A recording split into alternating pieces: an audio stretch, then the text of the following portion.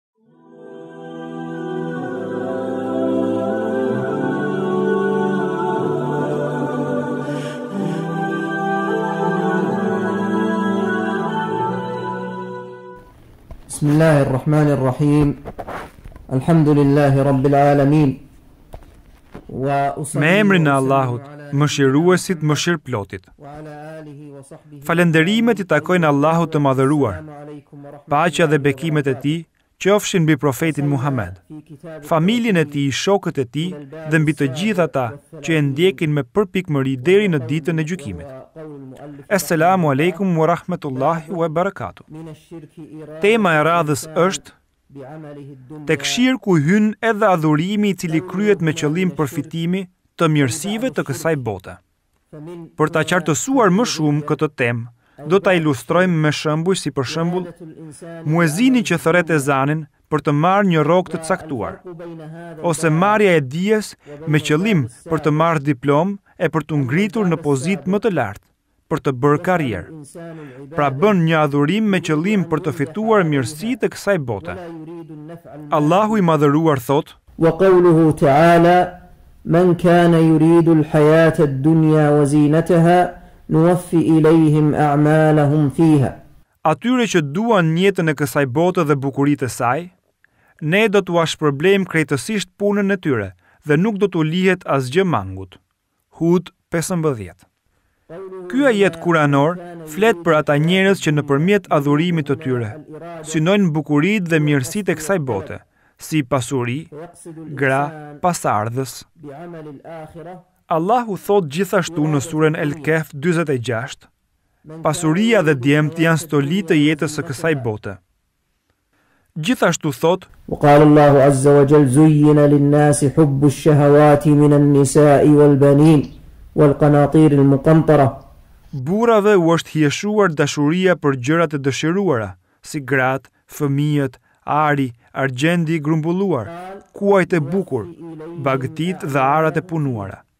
Ali Imran katërmbëdhjetë, ajeti, Yu'tauna ma yuriduna fi dunya idha shi'na dhalik.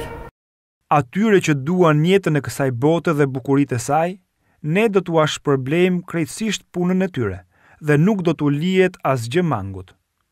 Këtë e shpjegon ajeti tjetër ku Allahu thotë në suren El Isra tetëmbëdhjetë. Men kane yuridu al-ajilata 'ajjalna lahu fiha ma nasha'u liman nurid.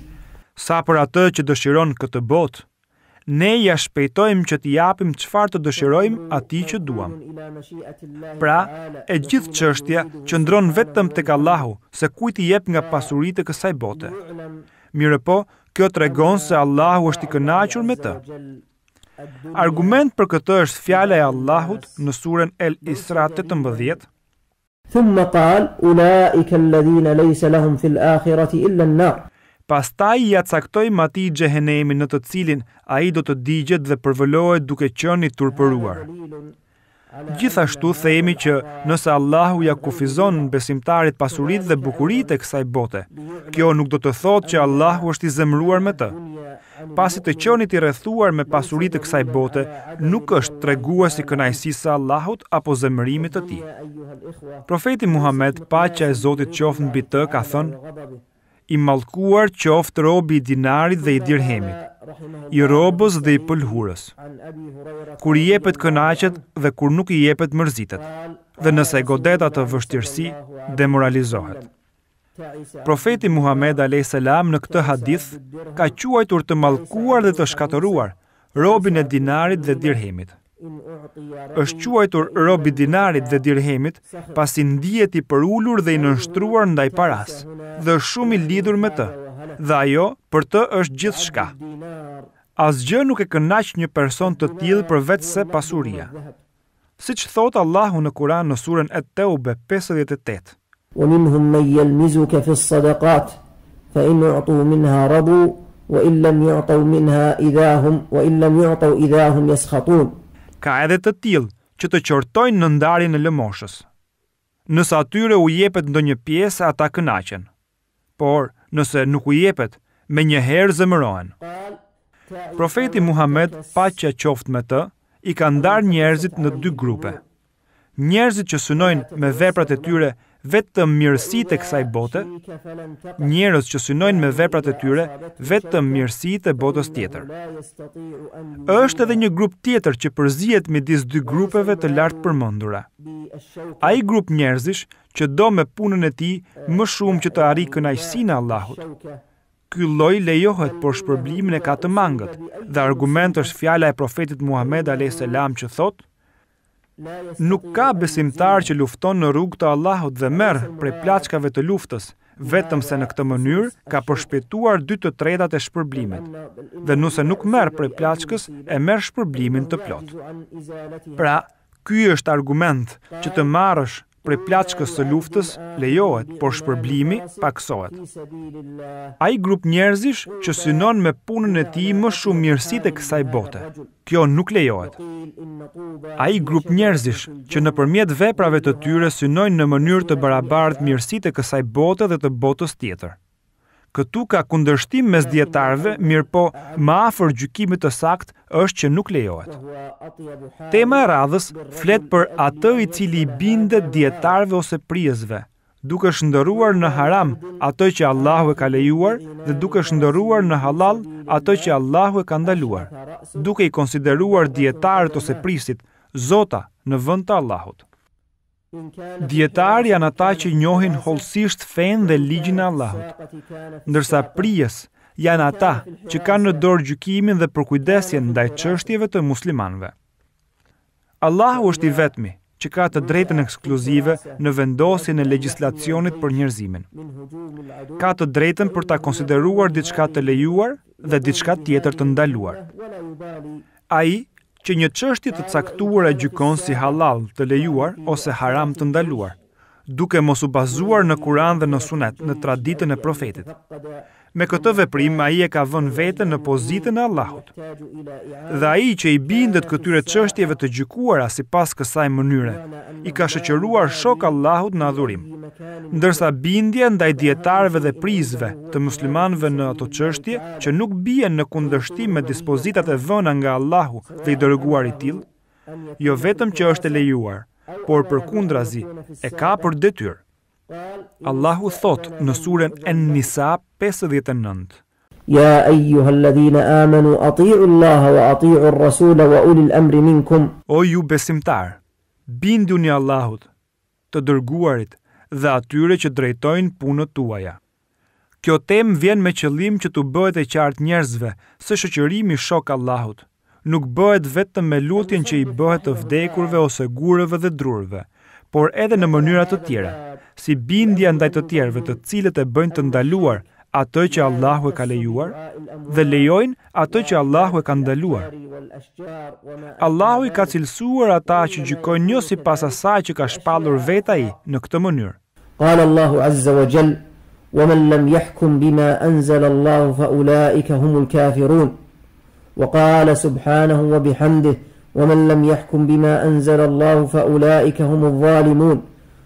Wa qala, Wa men lem jahkum bima enzele Allahu fa ulaike humul fasikun. Kushdo që nuk gjykon sipas asaj që ka shpallur Allahu, ai është mohues i vërtetë. El Maide 44.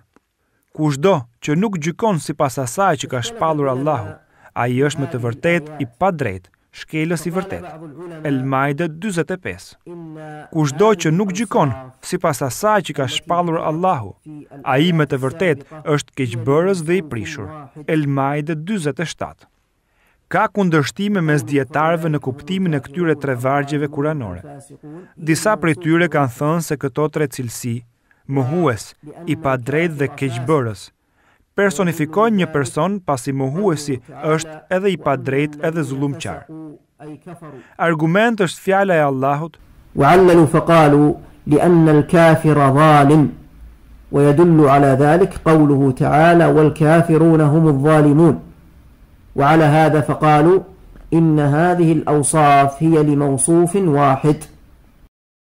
Jobesimtarët janë keqbërësit dhe zullumqarët e vërtetë.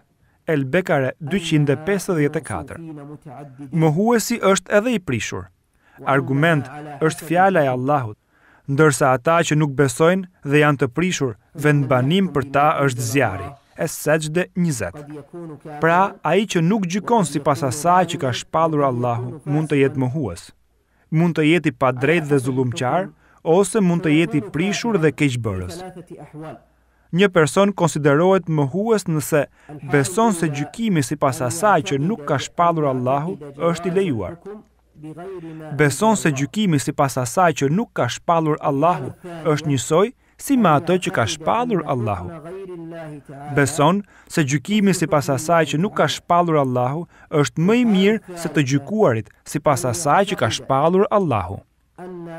Konsiderohet i padrejtë dhe zullumqar, ai që beson se legjislacioni që ka shpallur Allahu është më i mirë dhe beson se është i obliguar për ta zbatuar atë.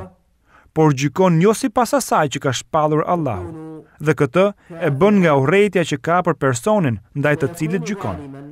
Ky lloj gjykimi e bën atë të padrejtë dhe zullumqar, por jo mohues. Konsiderohet i prishur dhe keqbërës ai që beson se legjislacionin që ka shpallur Allahu është më i mirë dhe beson se është detyrë për ta zbatuar, por gjykon jo sipas asaj që ka shpallur Allahu. dhe këtë e bën për të plotësuar epshet, dëshirat dhe tekat e tij. Është transmetuar se Abdullah ibn Abazi ka thënë: "Gati sa nuk po zbresin gurë nga qielli si dënim për ju.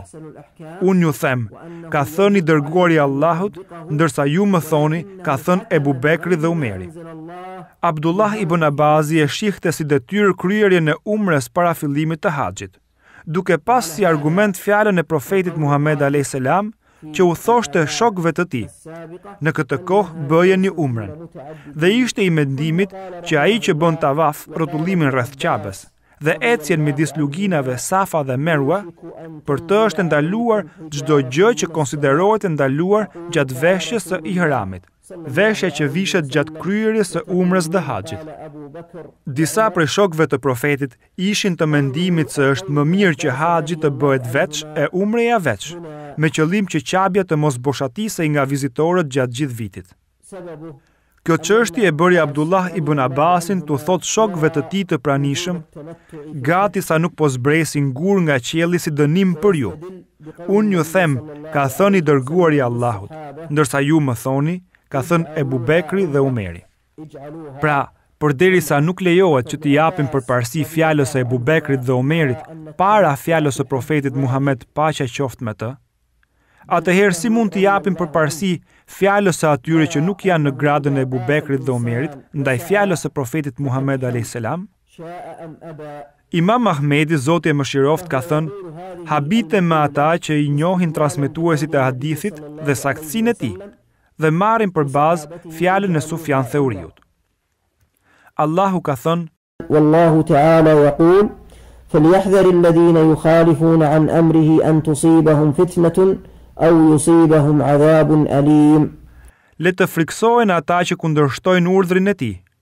që të mos i arrijë ndonjë sprovë ose që të mos i godasë një dënim i dhembshëm, En-Nur gjashtëdhjetë e tre. Në shpjegimin e fjalës së Imam Ahmedit, habitem ka kuptimin habiti ose pëlqim për të mirë, siç ishte Profeti Muhamed paqja qoftë mbi të. që pëlqente të paraprinte të djathtën për çdo gjë. Ndërsa kuptim tjetër është urrejtje të diçkaje. Dhe Imam Ahmedi kishte për qëllim kuptimin e dytë. Habitem me ata që lënë hadithin e saktë të profetit Muhammed alayhis salam dhe marrin mendimin e një prej dijetarëve, siç ishte Sufjan e Theuriu një prej dijetarëve tabiinë, brez pas shokëve të profetit. Është transmetuar se Imam Maliku ka thënë, çdokujt i kthehet fjala, përveçse këtij që është në këtë varr, dhe kishte për qëllim profetin Muhammed paqja e Zotit qoftë mbi të. Gjithashtu Imam Shafiu ka thënë, nëse më vjen hadithi i saktë, ai është medhhebi im, mendimi im. Dhe nëse fjala ime kundërshton fjalën e profetit Muhammed alayhis salam, merrni fjalën e profetit dhe përplaseni fjalën time në mur. Pra hidheni, mos e merrni atë. Ndërsa kuptimi i vargut kuranor që përmend Imam Ahmedi, Wallahu ta'ala yaqul falyahdhar alladhina yukhalifun an amrihi an tusibahum fitna aw yusibahum adhabun alim. Le të frikësohen ata që kundërshtojnë urdhrin e tij, që të mos i arrijë ndonjë sprovë ose që të mos i godasë një dënim i dhembshëm, pra le të frikësohen ata që e kundërshtojnë urdhrin e Profetit Muhamed alejhi selam, që të mos i arrijë ndonjë sprovë. Sipas Imam Ahmedit, fjala sprovë në këtë rast ka kuptimin e shirkut. Ndoshta zemra e tij mënjanohet nga e vërteta duke kundërshtuar fjalën e profetit Muhammed alayhis salam. Dhe për këtë, Allahu mund ta bëjë prej atyre që bëjnë shirk, duke i sjellë dënim të dhembshëm. Thumma qala rahimahullah wa an Adi ibn Hatim radiyallahu anhu annahu sami'a an-nabiy sallallahu alayhi wa sallam yaqra'u hadhihi al-ayah Ittakhadhu ahbarahum wa ruhbanahum arbaban min dunillah. Adi ibn Hatim ka dëgjuar Profetin Muhamed paqja e Zotit qoftë mbi të, duke lexuar vargun kuranor të Surës At-Tewbe tridhjetë e një, Në vend të Allahut, ata, të krishterët dhe hebrenjtë, kanë zgjedhur për zot rabinët, dijetarët e tyre dhe murgjit e tyre. Pra, i bënë ata ligjvënës në vend të Allahut. Vazhdon më tej Adi ibn Hatim duke thënë, i thashë, o i dërguar i Allahut, nuk po i adhuronim ata duke i bërë sexhde dhe ruku. Profeti a.s. i thotë, ata a nuk e ndalonin atë që Allahu e kishte lejuar dhe lejonin atë që Allahu e kishte ndaluar? ndërsa ju i pasonit në gjëra që ata i konsideronin të lejuara, si dhe në gjëra që ata i konsideronin të ndaluara? I thashë, po, o i dërguar i Allahut. Më pas profeti Muhammed, paqja e Zotit qoftë mbi të, thotë, "Ky pra është adhurim ndaj atyre." Bindja ndaj atyre që lejojnë atë që Allahu e ka ndaluar dhe e kundërta ndahet në tre lloje. Kur dikush kënaqet me gjykimin e tyre dhe urren legjislacionin e Allahut, ai hyn te kategoria e mohuesve, pasi urren shpalljen e Allahut. Kur dikush kënaqet me legjislacionin e Allahut, mirëpo tekat, dëshirat dhe epshet, e detyrojnë që të eci sipas gjykimit të atyre që janë në kundërshtim me ligjet e Allahut. Ky person hyn tek kategoria e njerëzve të prishur dhe keqbërës, por jo edhe mohues. Kur dikush nga mosdija dhe injoranca ndjek gjykimet e tyre që lejojnë atë që Allahu e ka ndaluar dhe e kundërta, ky lloj ndahet në dy grupe të tjera. Kishte mundësi të mësonte të vërtetën, por nuk i ka kushtuar rëndësi kësaj çështje, duke u bërë kështu gjynahqar.